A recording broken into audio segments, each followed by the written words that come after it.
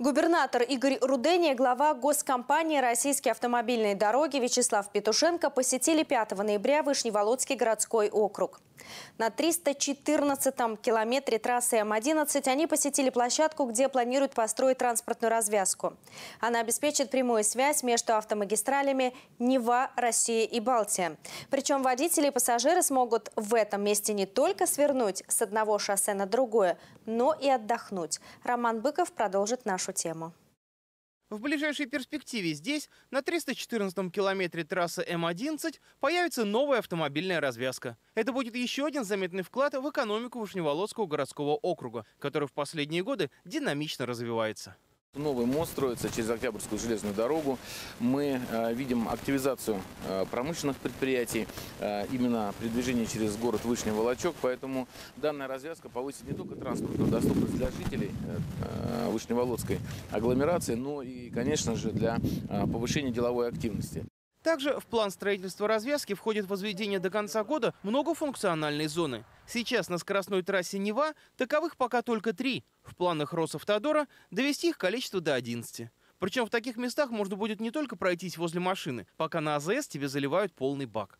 Трасса М11 – это не только дорожное полотно, по которому несутся автомобили, это еще и инфраструктура вокруг него. В частности, многофункциональные зоны отдыха. Одна из них находится за моей спиной, она пока еще строится. Но совсем скоро водители смогут здесь не только заправить свои автомобили топливом, но и просто прогуляться, размять, что называется, ноги, а кроме того перекусить и даже позаниматься спортом, поскольку здесь еще планируется обустроить тренажеры.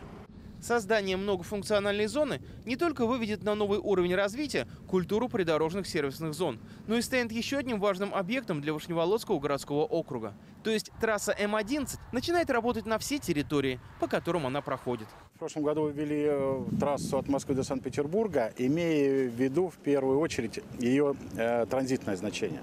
А сейчас, когда трасса появилась, начинает развиваться территория, которая находится рядышком.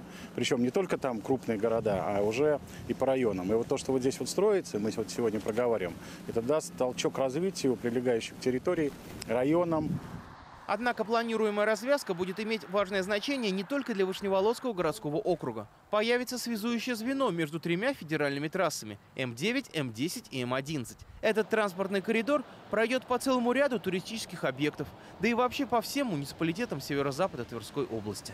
Это Нелидово, Западная Двина, э, Торопец, э, Андреаполь, Пеновский район, Осташковский район, Фировский район, э, Кувшиновский район. То, что сегодня находится, так сказать, в не очень выгодной транспортной доступности от М11.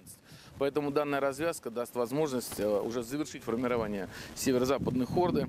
А чтобы путешествие по этой хорде было комфортным, запланирован ремонт всех шоссе, по которым она проходит. В первую очередь речь идет о дорогах регионального значения первого класса. Осташков-Сележаров-Ржев, Торжок-Осташков, Осташков-Волги-Верховье, Москва-Рига, Андреаполь, Пена-Хитина и автодорогах второго класса межмуниципального значения. Осташков-Верхние Котицы, Кириллково, Рвеница-Свапуща. В общей сложности в нормативное состояние будут приведены более 300 километров автотрасс. Реализация объектов планируется в рамках государственной программы развития транспортного комплекса и дорожного хозяйства Тверской области на 2020-2028 годы.